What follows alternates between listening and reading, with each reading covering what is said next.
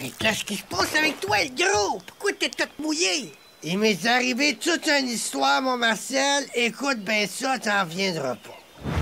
J'étais en train de pêcher sur le bord du quai quand tout à coup, je vois une bouteille de bière remonter à la surface. Oh! Fait que je me penche pour la ramasser, puis comme je la pogne, oh! Paf! Je suis tiré vers le fond de l'eau. Oh, oh, oh! Hey, je pense que j'en ai un gros, Gérard! Je pense que j'en ai un gros! Wow! Regarde-moi ça comme il est dessus! Wow, wow, wow! Hey, ça, ça va être bon passer dans le poêle avec du citron! Puis tu penses que je vais croire à ton histoire? Je te jure, Martial, que c'est la pure vérité.